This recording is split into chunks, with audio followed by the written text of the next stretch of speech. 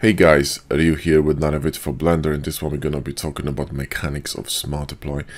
And uh, recently I had a video and in this video I was using Smart Apply on mirrored surface and it didn't get applied, the mirror.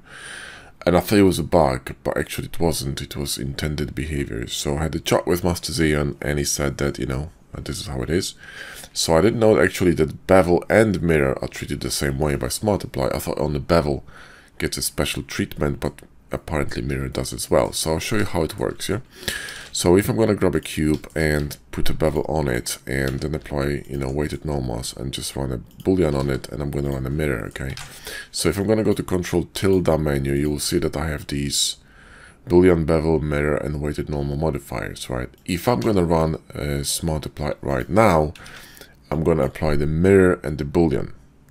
Now the mirror got applied because we had only one and the same with bevel because we had only one. However, let me just go back to this situation. So we got boolean, bevel, hard uh, mirror and weight normals. And I'm going to move this cube somewhere here and I'm going to go to Q and shift control click on bevel and press X to slice the size of the bevel in half, okay?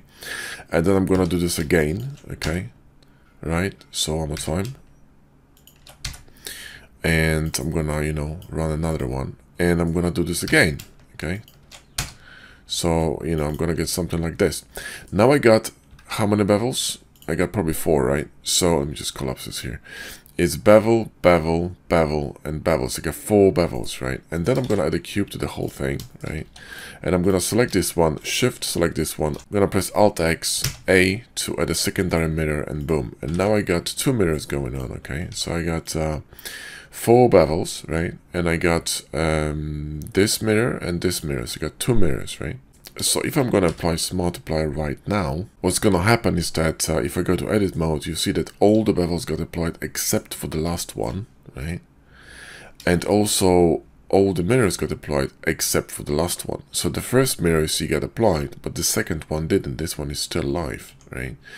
So this mirror is not applied. And also uh, this tiny bevel here, this one here, right, is not applied as well.